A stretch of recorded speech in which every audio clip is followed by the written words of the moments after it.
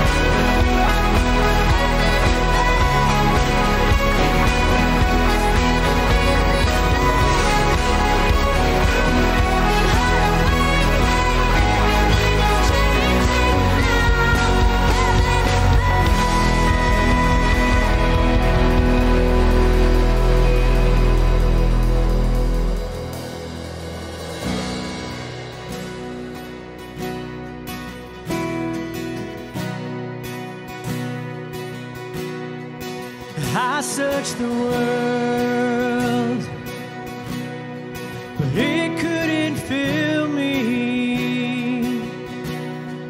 Man's empty praise and treasures that fade, oh, are never enough.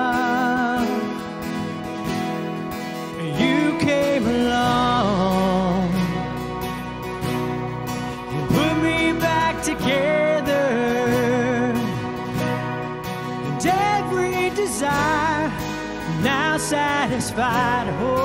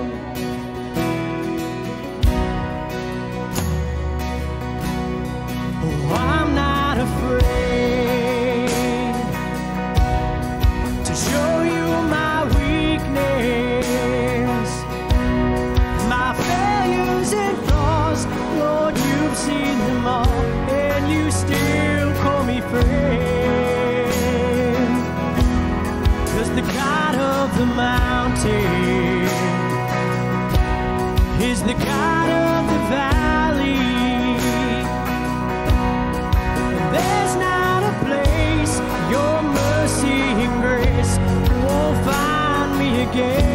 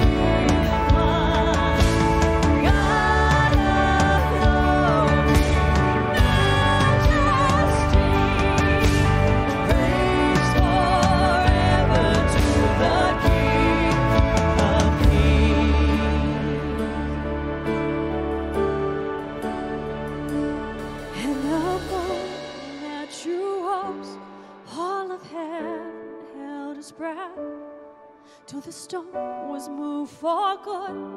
For the Lamb had conquered death, and the dead rose from their tombs.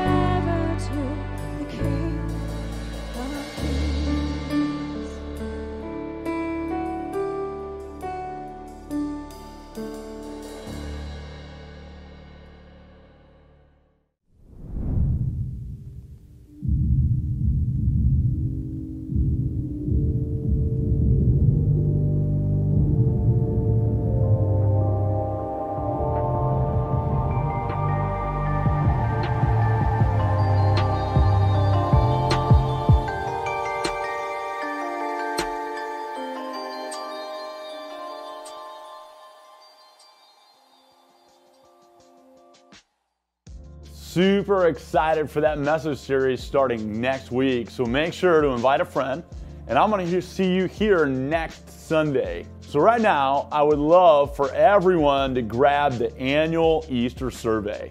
And when I say everybody, I mean everybody. Because we're going to take a moment, and as we're doing that survey, I would love to hear from you. We're going to make some decisions around the information that you give us. And since everyone sort of joins together here on this one Sunday, it's a great opportunity for us to get that content. So, one of the things that you can do if you're joining us online, you should find the annual survey in the link right below.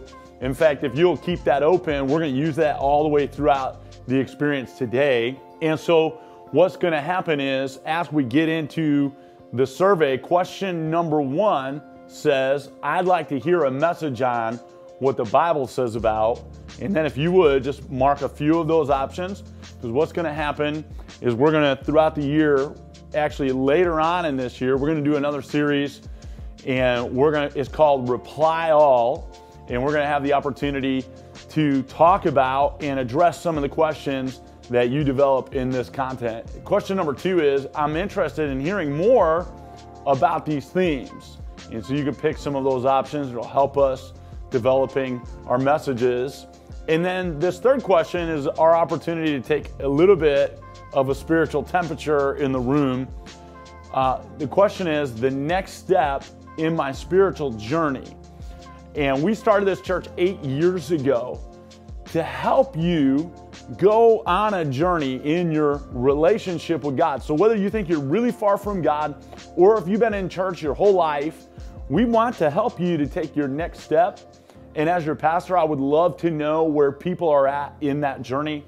And then you're going to find there's one last option on that survey, and it looks a little bit blank. It's a little unusual. It's A, B, C, and D. Don't fill that out. Hold on to it we're going to come back to that at the end of the experience today.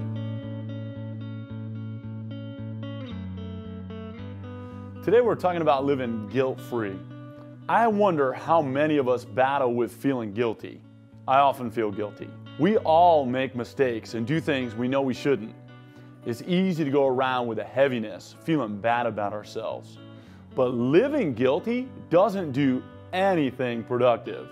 There are all kinds of guilt that can weigh us down. Studying for this message, I discovered that food guilt is one of the top guilts that people experience. 29% of what we eat makes us feel guilty. If you're a man, you feel food guilt for about 20 minutes.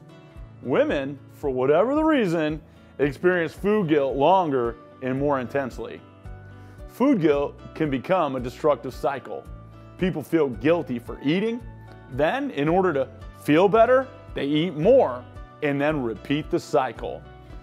Over time, they quite literally get weighed down by their guilt and the food they eat. Just like adding toppings to my ice cream, we are weighed down with all kinds of guilt. You feel mom guilt.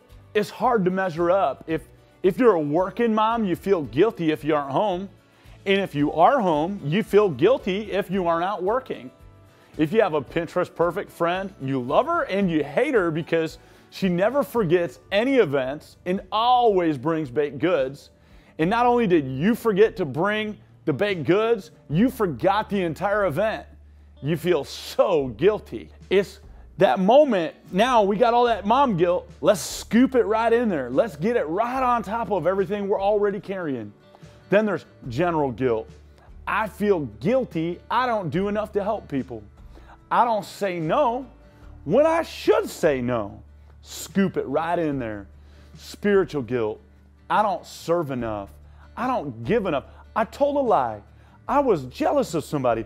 Scoop that right in. I tried the best I could, but I still couldn't hold my marriage together.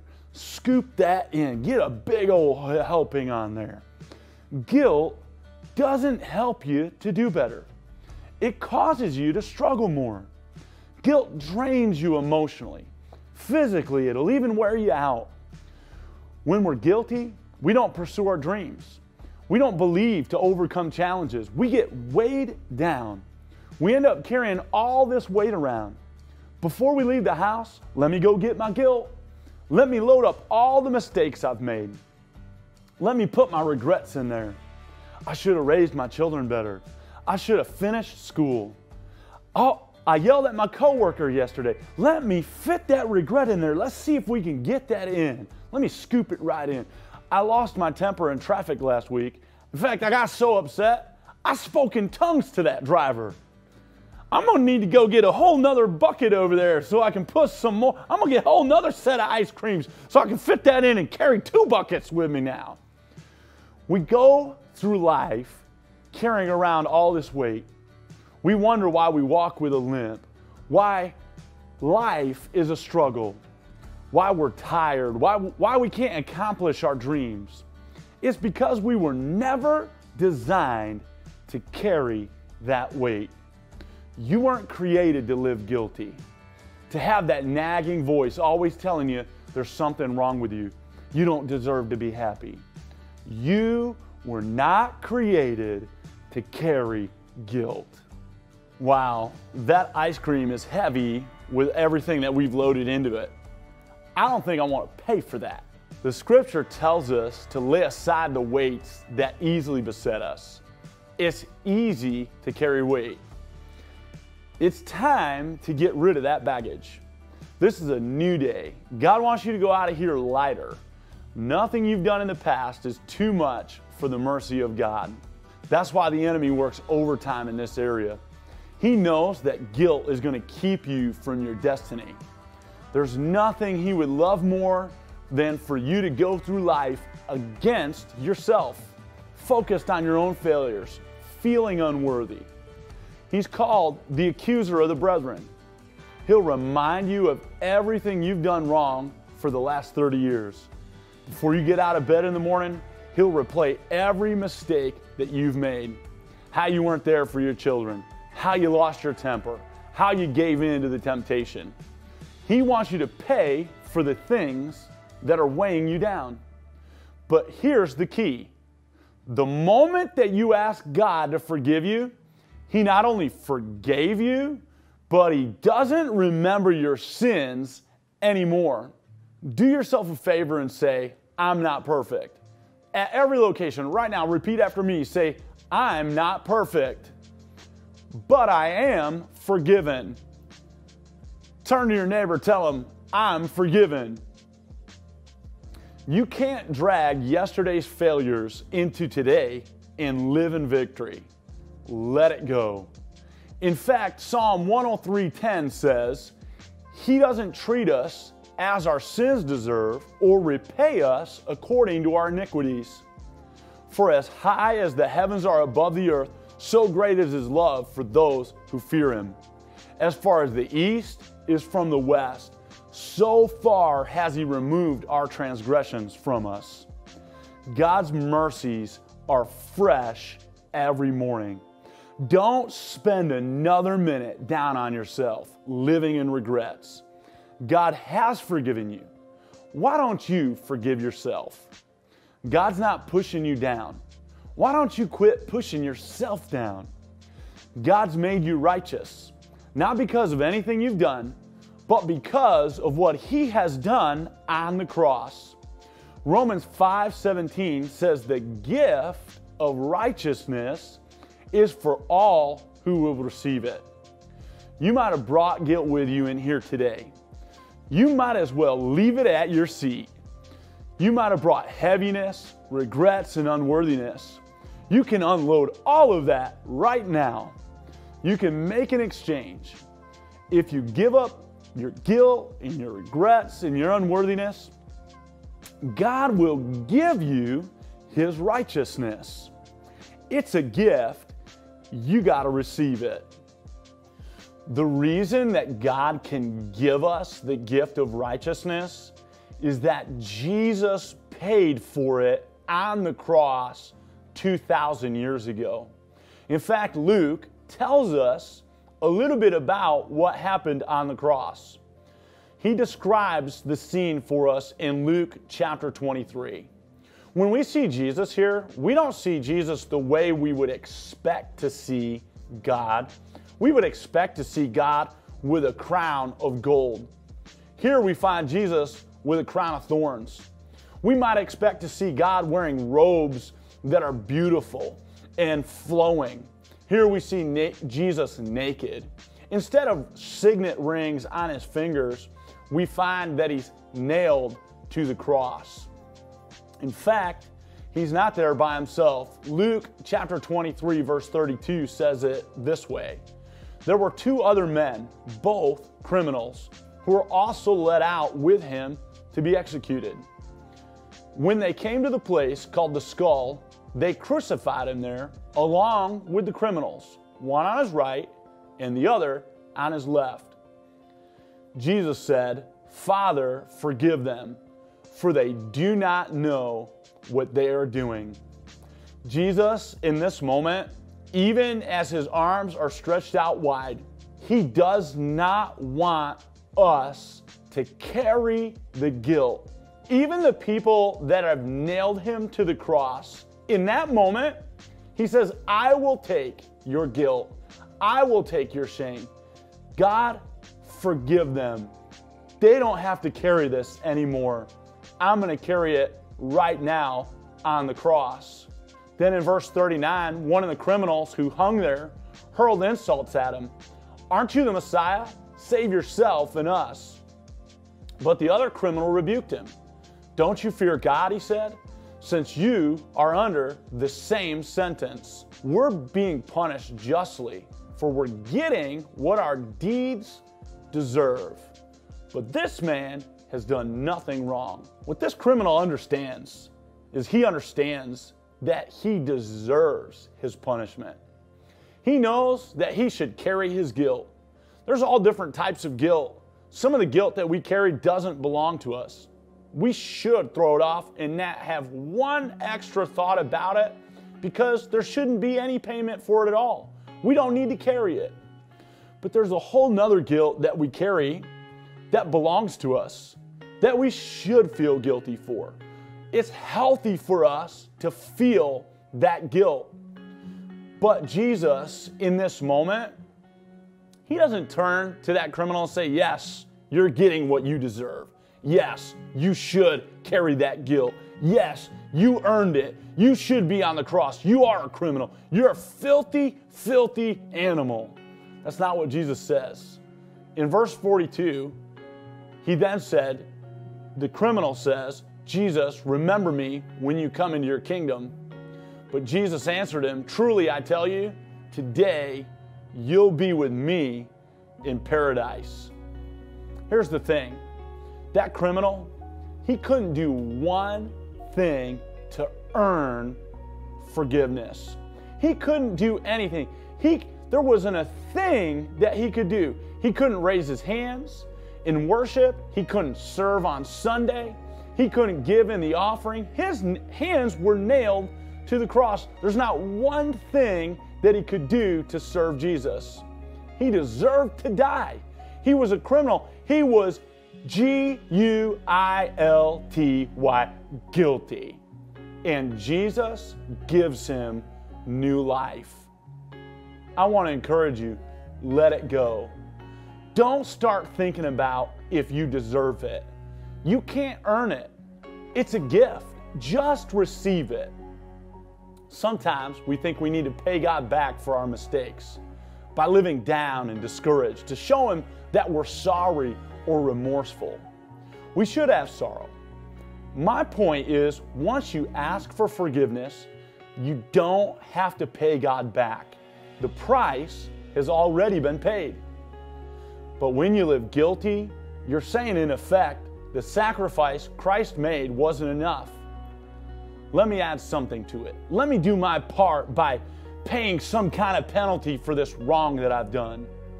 Living guilty and condemned doesn't bring any honor to God. After all that Christ did to pay the price, if you want to honor God, get rid of the guilt.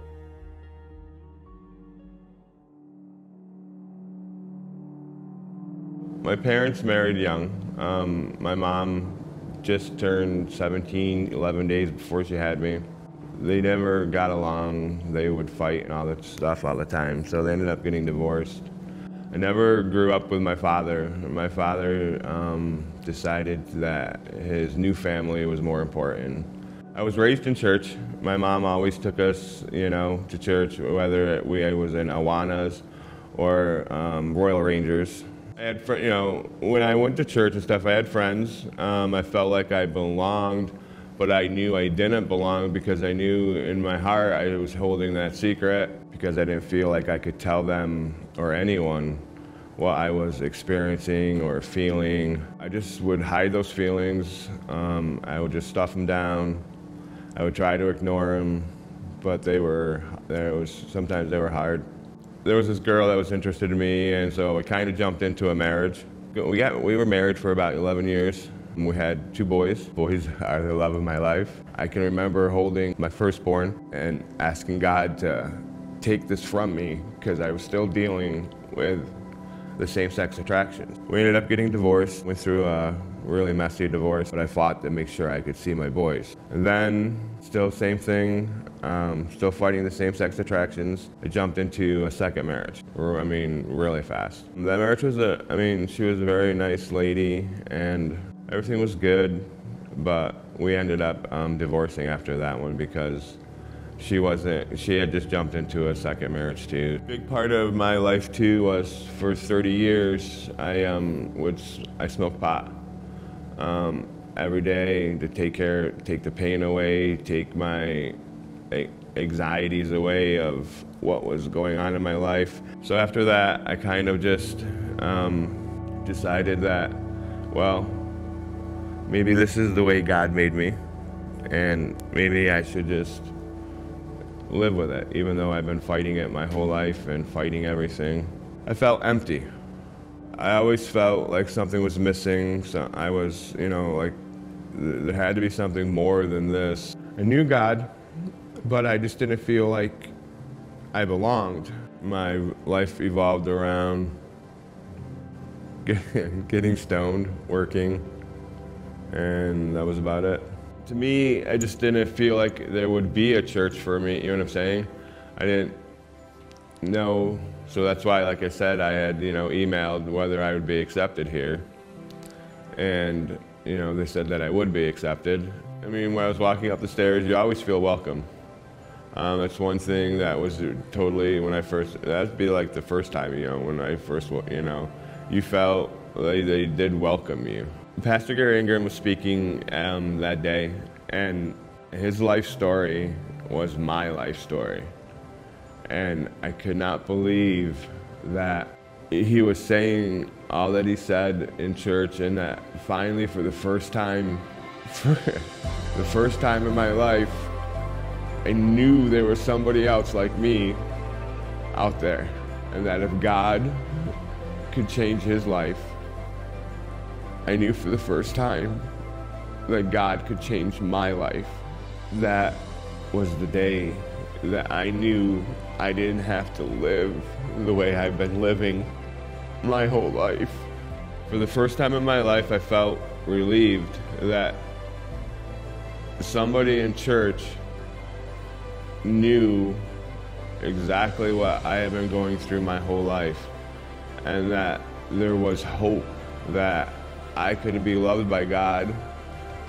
I could change my life and start a path that is still, I'm still walking on because I'm still working on the feelings of myself, you know, how I don't like myself. No matter what you feel in your head, no matter what you feel in your heart, God is there and God does love you. No matter what you think you've done to screw up that love, to lose that love, don't think that you've gone too far. There's always a way back to God.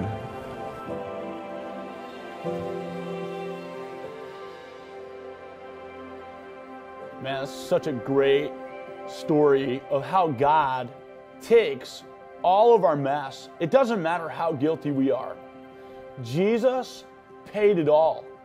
He takes no matter what situation, no matter your past, no matter who you are, no matter what you think you've done, Jesus has paid it all. And so we can live guilt free. Here's what I want to do today. I want us to be able to close out our time together. I told you we were going to use our Easter survey and we were going to go through those four letters that are on the survey. A, B, C, and D. So I want everybody, everywhere, everybody join us online, everybody in the room, anybody who is in any way related to what's happening right now to get that Easter survey out. And we're going to walk through that survey together. Because what I want to know is if you have given Jesus your life. And the way why I want to do that is if you are already in a relationship with God, you know Him personally, this is your opportunity to write, just mark under letter A and just put a check there. But now, as you're hearing about Jesus and you're discovering that Jesus paid it all for you, if you would like to let it go and you would like to have your guilt removed and be restored into relationship with Jesus, I want you to check that letter B because B is I want to begin a real relationship with God today. You might be here hearing about Jesus for the very first time and or you've heard about Jesus your whole life, but you just want to consider what God wants to do in your life before you make that decision, I want you to just mark letter C. Let us know you're not ready yet to become a follower of Christ, but you're considering it. And I want to, I want everyone at Two Rivers to feel safe. You can come to Two Rivers.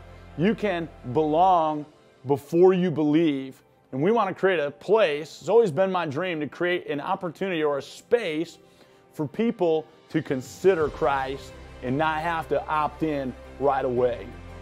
And then letter D is I don't ever intend to make that decision. So you're here and I'll just I'll just tell you right flat out, I'll be praying for you. Because I've watched people come and they've marked letter D, but they've discovered over the course of time, there's a group of people and a God who loves them. And eventually I've watched them mark C and then B, and I celebrate that.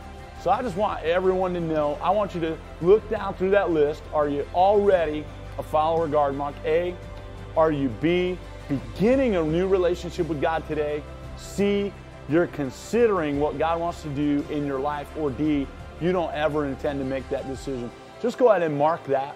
Here's what I want to do I want everyone at every location to pray this prayer with me so that no one is going to pray in this moment by themselves. In fact, if you're in your room, just know there are hundreds of people all over the place that are going to pray this together. So I want you to pray this and repeat after me. Say, Lord Jesus, I come to you today just as I am. I ask you to forgive me of my sins. And I believe that you paid for my sins on the cross. Thank you for forgiving me. I'm not going to carry that guilt anymore. I'm going to live free. I believe that you rose again and that I now have new life in you. Thank you. I'm going to follow you all of my days. In Jesus' name, amen.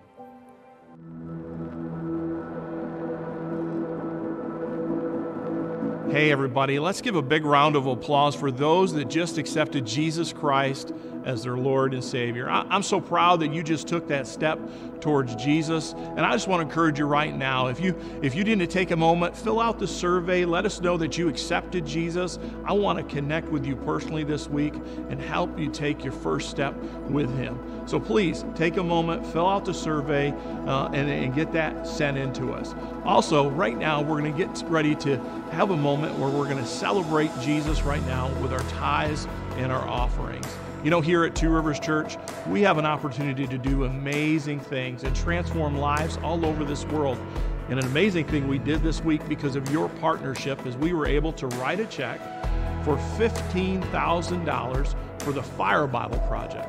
That's right, $15,000. Bibles are going to go into the least, the least reached people of this world. They're going to get Bibles in the near future because you partnered with us. You see, each and every week when you partner with us, we transform our world and lead people to Jesus. Now let's pray over today's offering. Heavenly Father, I thank you. I thank you that you're going to multiply this offering, that we can continue to reach people groups all over this world and in Endicott and in Binghamton and Johnson City and Canandaigua and Cortland and Corning and Ithaca and all over, Father. We're so thankful. In Jesus' name we pray. Amen. Right now, you're going to see instructions on the screen on how you can give. I'm so thankful that you joined us today for our uh, Easter experience. We're, we're thankful for Jesus and we're thankful for you. Have a great time with your family today, and we look forward to seeing you again next week. God bless you. Have a great Sunday.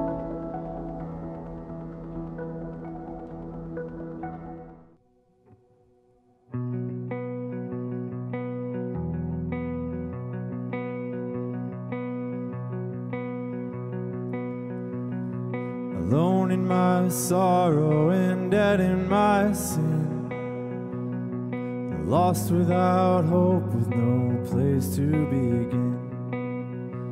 Your love made a way to let mercy come in. When death was arrested and my life began.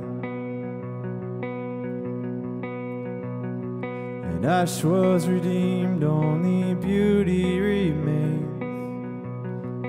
My orphan heart was given a name. And my mourning grew quiet, my feet rose to dance. When death was arrested my life began. Oh, your grace, so free washes over have made me new. Now life begins with you. And it's your endless love pouring